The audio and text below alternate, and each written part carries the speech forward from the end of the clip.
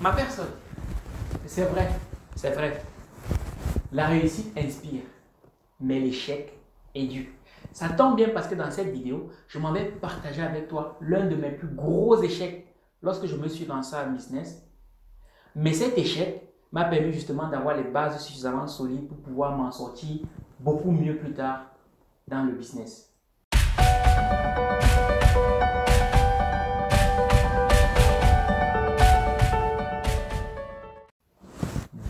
Ma personne personnelle, j'espère que tu vas bien et j'espère que comme moi tu as soif de réussite. Et bien si c'est le cas, on est ensemble. comme je te le disais tantôt dans cette vidéo, je vais partager avec toi un de mes plus beaux échecs en business parce que je sais que cet échec peut t'inspirer. Tu sais, dans la vie, il y a deux façons d'apprendre. Soit tu apprends des erreurs des autres, soit tu apprends de tes propres erreurs. Mais le vice lorsque tu apprends de tes propres erreurs, c'est le fait que tu y laisses des plumes. Donc moi, je veux t'éviter de faire cette erreur-là. Cela dit, ma personne, si tu suis cette vidéo, ça veut très certainement dire que toi et moi, on a quelque chose en commun. Donc ce que je t'invite à faire, c'est deux choses. Un, abonne-toi si ce n'est pas encore fait. Deux, clique sur la cloche de notification. Ceci afin d'être informé pour toutes les prochaines vidéos que je partagerai avec toi qui vont t'enrichir encore et encore. Et la troisième annonce que je souhaite vivement partager avec toi, c'est que depuis le 13 janvier 2021, mon livre qui s'intitule Un pied à l'école, un pied dans le business est désormais disponible.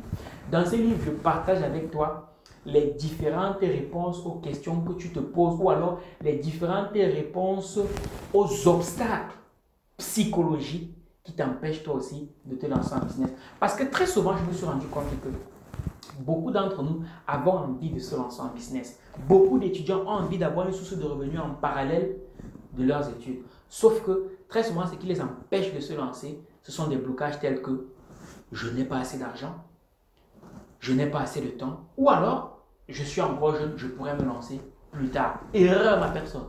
Il n'y a rien de plus faux que ça.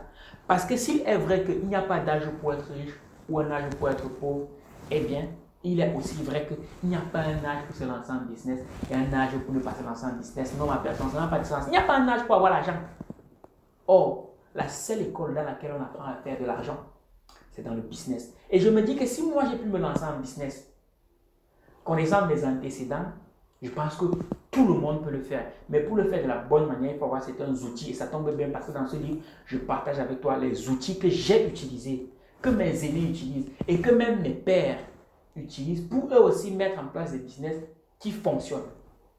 De ma personne, s'il y a un livre qu'un véritable étudiant chercheur d'argent doit lire en 2021, c'est bien ce livre, Un pied à l'école, un pied dans le business, qui est disponible sur notre site internet argentlivre.com ou alors en contactant le numéro qui s'affiche en bas de l'écran par WhatsApp. Maintenant que tu sais tout ça, ma personne, permets-moi de me présenter.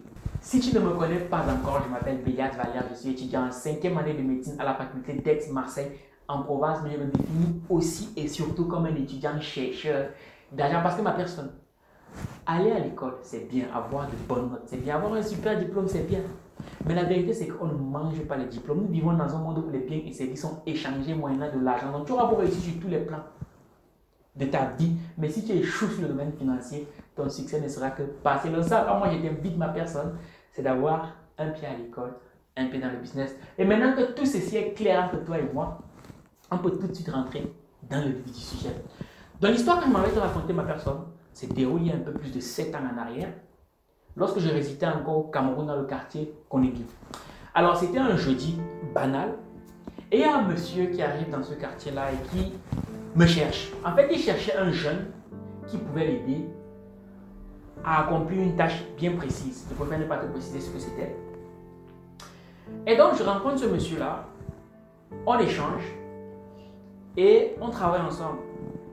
Mes services, il est satisfait de mon service. Sauf que pendant tout notre échange, à aucun moment je ne prends le temps de me présenter. À aucun moment je ne prends le temps de lui donner mon nom. À aucun moment je prends le temps de lui dire comment est-ce qu'il peut me recontacter. Donc tout se passe bien. Le monsieur est très occupé, il s'en va, il est satisfait.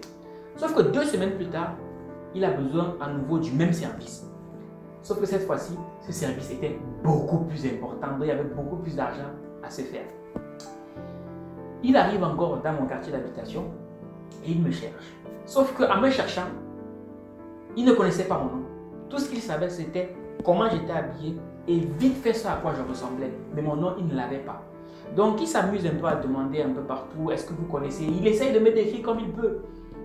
Mais bon, la description qu'il a donnée par rapport à l'image qu'il avait de moi, une personne qu'il a vue qu'une seule fois, ça ne collait pas trop. Du coup, ben, il n'a pas pu me contacter. Et ce jour-là, malheureusement, j'ai perdu ce business-là.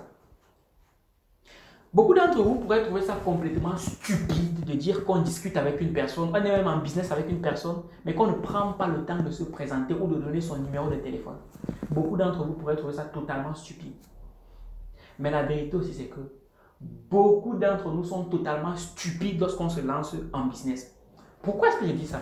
Je te dis ça parce que récemment encore, il y a une membre de la communauté qui m'écrit sur WhatsApp et me pose la question suivante. Valère, ça fait un peu plus d'une semaine que j'ai lancé un business de vente de jus de fruits. Les choses se passent plutôt bien, mais ce que moi je veux, c'est aller à un autre niveau. Je veux level up dans ma vente de, de jus de fruits. Je lui dis, elle me demande qu'est-ce que je peux faire? Je lui dis, super, franchement, j'aime bien quand les femmes décident de prendre les devants comme, comme ça et veulent aller beaucoup plus loin, plutôt que de rester à être la meilleure vendeuse de, de son quartier, you know. Donc je lui dis, la première chose que je peux te conseiller de faire, c'est de mettre un nom sur tes jus de fruits. Elle me dit, mais non, Valère, comment ça mettre un nom? Ça sont des dépenses supplémentaires. Je n'ai pas d'argent pour mettre, pour dire que je vais commencer à faire des étiquettes pour coller sur mon jus de fruits. Franchement, ouais, je veux bien, mais ce sont des dépenses supplémentaires. Je lui dis, mais attends. C'est ça le problème avec vous, c'est que vous voulez des résultats qui sont là. Mais vous posez des actes qui sont là. Après, vous accusez le sorcier du village. Non. Si tu as de grands objectifs, il faut poser des actes qui sont à la hauteur de tes objectifs. Ou alors, tu diminues tes objectifs à la hauteur de tes actes. Mais ne viens pas te plaindre après. N'accuse pas le sorcier du village. Non.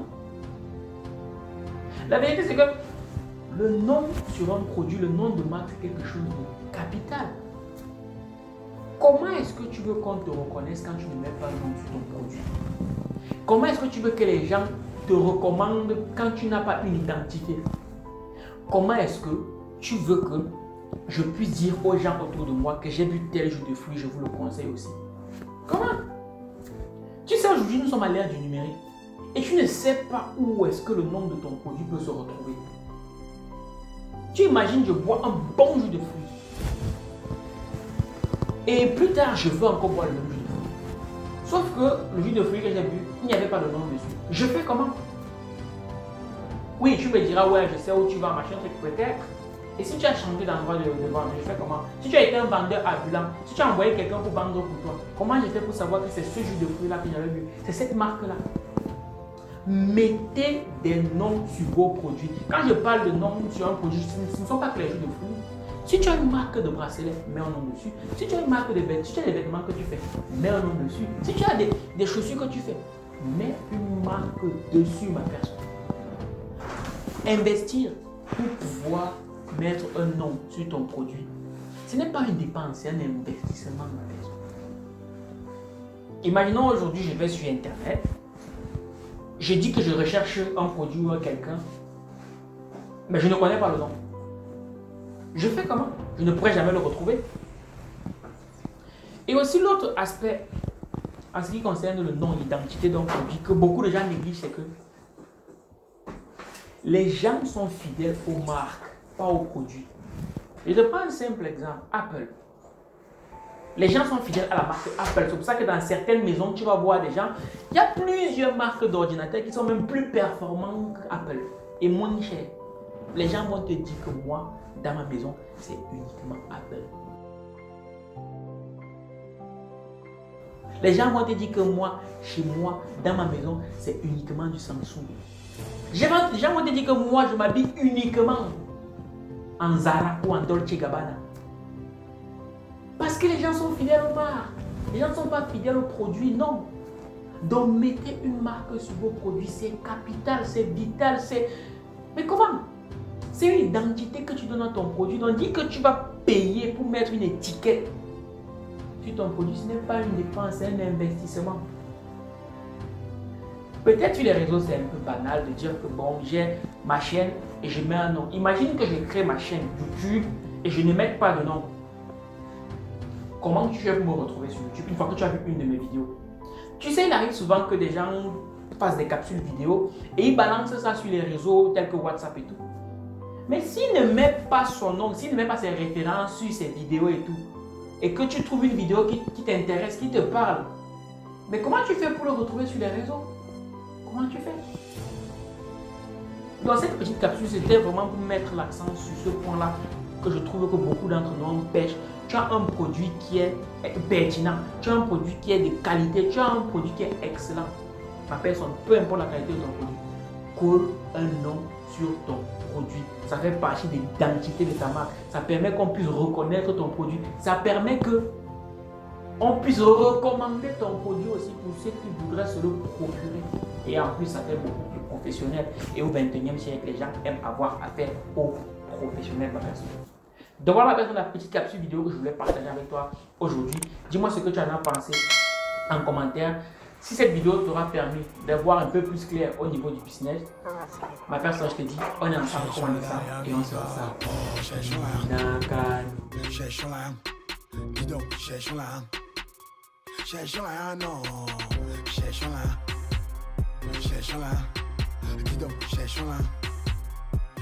D'accord.